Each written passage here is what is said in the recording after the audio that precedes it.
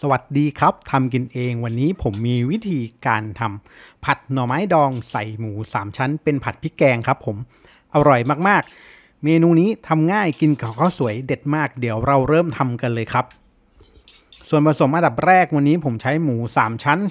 250 กรัมนะครับ เอามาหั่นความหนา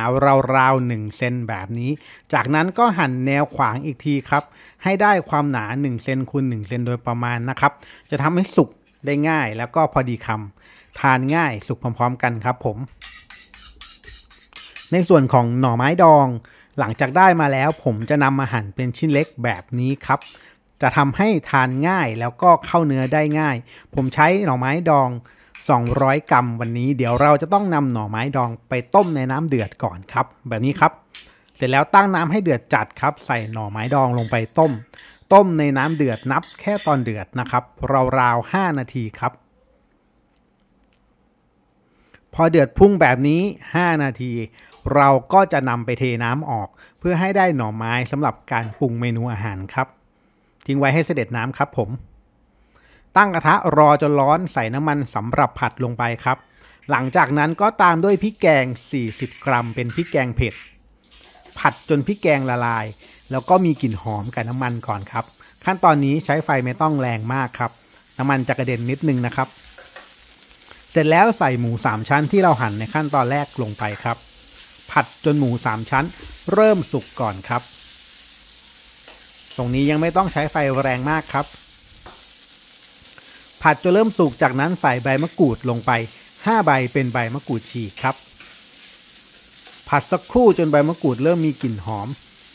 แบบนี้ครับ จากนั้นใส่น้ำล้างคกหรือน้ำสะอาดลงไปครับ หรือจะเป็นน้ำซุปก็ได้แล้วแต่สะดวกครับ ตามด้วยหน่อไม้ดองครับ ที่เราต้มเอาไว้ใส่ลงไปได้เลยครับ เสร็จแล้วผัดคลุกเคล้าให้เข้ากันดีก่อนครับ แล้วก็ทุกอย่างสุกดีก่อนครับ ตรงนี้เริ่มใช้ไฟแรงได้แล้วครับ ใครอยากทานแบบมีน้ำเติมน้ำซุปหรือน้ำสะอาดเพิ่มได้ครับ เสร็จแล้วเราจะปรุงรสด้วย เริ่มจากน้ำมันหอยก่อนครับ 1 ช้อนโต๊ะครับ ตามด้วยซอสปรุงรสฝาเขียวครึ่งช้อนโต๊ะ น้ำปลาครึ่งช้อนโต๊ะ ตัดรสด้วยน้ำตาลทรายเล็กน้อยครับ เสร็จแล้วผัดคลุกเคล้าทุกอย่างให้เข้ากันดีครับ ใช้ไฟแรงๆจะได้มีกลิ่นหอมครับ พอผัดคลุกเขาเข้ากันดีแล้ว ก็จะใส่พริกชี้ฟ้าแดงหั่นแฉลบ ตามด้วยใบกะเพราครับ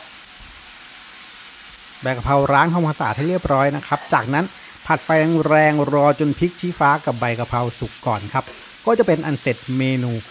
ผัดหน่อไม้ดองใส่หมูสามชั้น เป็นผัดพริกแกงครับ วิธีทำง่ายๆแบบนี้เลยครับ อัตราส่วนผมขึ้นให้ตรงนี้เลยครับ เพื่อนๆสามารถจดนำไปทำได้ ใครอยากให้ผมทำเมนูอะไรสามารถคอมเมนต์บอกกันได้ครับ แล้วเจอกันใหม่ในคลิปหน้าขอบคุณมากๆ ที่ติดตามรับชมสวัสดีครับ